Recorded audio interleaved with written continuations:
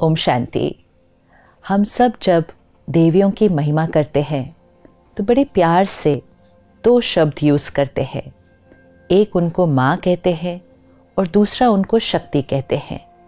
Mother and power. क्या ये दो अलग अलग शब्द हैं या इन दोनों का कोई कनेक्शन है?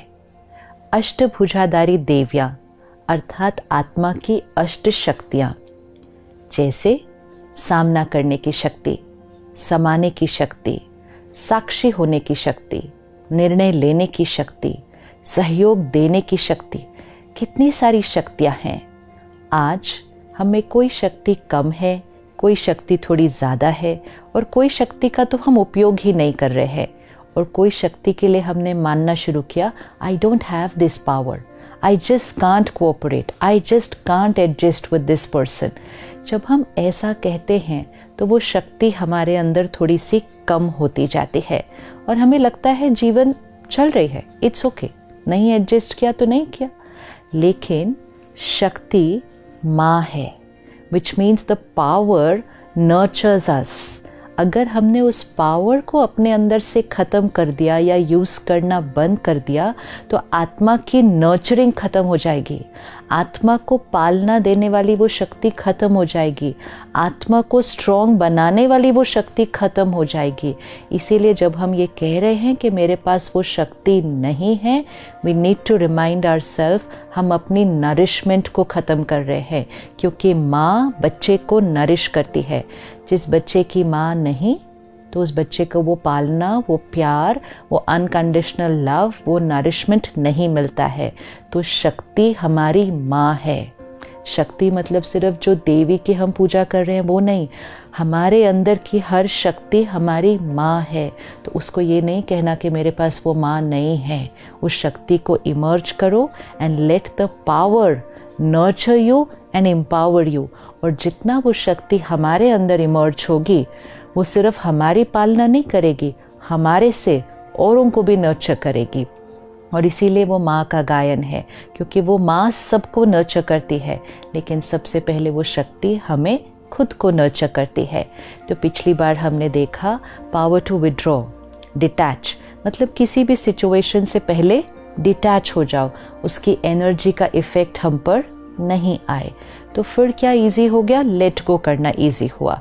कि छोटी छोटी बातें, पुरानी बातें, लोगों का व्यवहार यहाँ नहीं रहता। आई लेट गो गिल्ट अपने आप से नाराज़गी पकड़ के नहीं रखी। लेट गो कर दिया। जब हमने वो किया तो सहन करना नेचुरल होने लगा। सहन करना नहीं पड़ा। आज हम गिनते हैं कि सहन करना पड़ता है, इसका भी सहन करना पड़ता है। सहन करना नहीं पड़ेगा। जब लेट को किया, लोगों की एनर्जी से विड्रॉ किया तो सहन तो नेचुरल हो गया।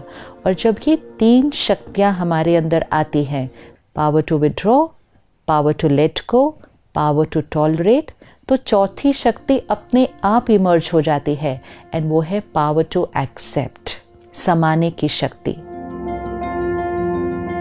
आज आत्मा जब कमज़ोर होती है तो उसकी इच्छाएँ ख़त्म नहीं होती एक्सपेक्टेशंस ख़त्म नहीं होती। यहाँ तक कि हम समझते हैं कि एक्सपेक्ट करना तो नॉर्मल है। अपेक्षाओं की लिस्ट लंबी होती जा रही है और जितनी एक्सपेक्टेशंस बढ़ती जाएँगी soul power will start depleting और इसीलिए जब हम मेडिटेशन करते हैं, रोज़ स्पिरिचुअल स्टडी करते हैं, जो सबसे पहला साइन हमें दिखाई देता है कि जब आत्मा की पावर बढ़ती है एक्सपेक्टेशन घटती है एंड पावर टू एक्सेप्ट बढ़ता है। पावर टू एक्सेप्ट मतलब क्या? क्योंकि उसका सही अर्थ में उसको लेना है। कई बार हमें लगता है कि एक्सेप्ट मतलब फिर ठीक है। कुछ नहीं, किसी को बोलो, सबको एक्सेप्ट करो, बात जैसी है वैसे उसको छोड़ दो, लोग जो कर रहे हैं उनको करने दो। ऐसे तो नहीं चलेगा। ना हमारा घर चलेगा, ना हमारा ऑफ़िस चलेगा, ना हमारी सृष्टि चलेगी। लेकिन पावर टू एक्सेप्ट मतलब क्या? परिस्थिति अलग अलग होगी। लोगों के संस्कार अलग अलग होंगे। दिखेंगे। It's here we can see it वो दिखेगा। उसको ठीक भी करना है। लेकिन जिसको हम ठीक नहीं कर सकते, उसको ठीक करने के लिए एक ही चीज़ करनी है। यहाँ उसके बारे में चिंतन करना नहीं। उस प्रॉब्लम को यहाँ रहने देना। उस प्रॉब्लम को यहाँ नहीं लाना। क्योंकि अगर उस प्रॉब्लम को यहाँ ले आए और सोचने लग गए, क्यों, क्या, कैसे, ऐसे, कैसे, और उनके बारे में पर चिंतन नेगेटिव थिंकिंग करते गए because that situation and that person is not matching our expectations तो जब हम उनके बारे में इस तरह से चिंतन करते हैं तो हमारी नेगेटिव वाइब्रेशंस उन तक पहुँचती है। पहले यहाँ क्रिएट हो जाती है, फिर वहाँ जाती है। तो जो वो प्रॉब्लम होती है, या वो जो बिहेवियर होता है, वो जितना था, उतना नहीं रहता, वो और बढ़ जाता है। तो we become responsible to escalate the problem to escalate the behaviour of the other person लेकिन अगर हम एक्सेप्ट करते हैं एक्सेप्ट मतलब हम उनके उस व्यवहार के बारे में और हम उस सिचुएशन की जो प्रॉब्लम है, उसके बारे में या चिंतन नहीं करते। हम स्टेबल रहते हैं, हम एक्सेप्ट करते हैं this is how it is ये बात अभी ऐसी है। और नेक्स्ट क्षण हम ये चिंतन करते हैं, अब क्या करना है? तो प्रॉब्लम के बारे में चिंतन नहीं, समस्या के बारे में सोचना नहीं, क्यों, क्या, कैसे नहीं सोचना, लेकिन ये सोचना अब क्या करना है? तो समस्या का चिंतन नहीं, समाधान का चिंतन। प्रॉब्लम का चिंतन नहीं सल्यूशन का चिंतन। क्योंकि वो बात को तो हमने एक्सेप्ट कर लिया है कि ये बात है which means not thinking of what it is now but thinking of what we have to do for it कुछ चीज़ों को हम बदल सकेंगे। कुछ बातों का सल्यूशन निकल आता है। कोई जीवन में कुछ ऐसी बातें होती हैं जिसका कोई समाधान नहीं है। वो बात है। जैसे बड़ी बातें। घर में कोई शरीर छोड़ता है there is a death in the family इसका कोई सल्यूशन नहीं है। ये सबसे बड़ी बात होती है किसी के जीवन के लिए।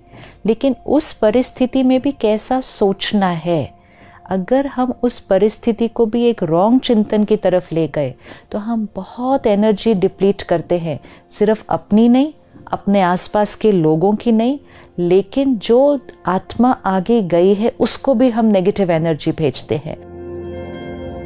So we need to understand the power to accept power to accept समाने की शक्ति। मतलब बातों को संभालो ना उसके बारे में चिंतन करो, ना उसको इधर उधर फैलाओ। Accept it and now work on it जो बातों को संभालेगा एक्सेप्ट कर लेगा, उसके अंदर संतुष्टता कंटेंटमेंट आज हम अपने आप को चेक करें। सब कुछ है। अचीव भी कर लिया। घर में भी सब परफेक्ट है।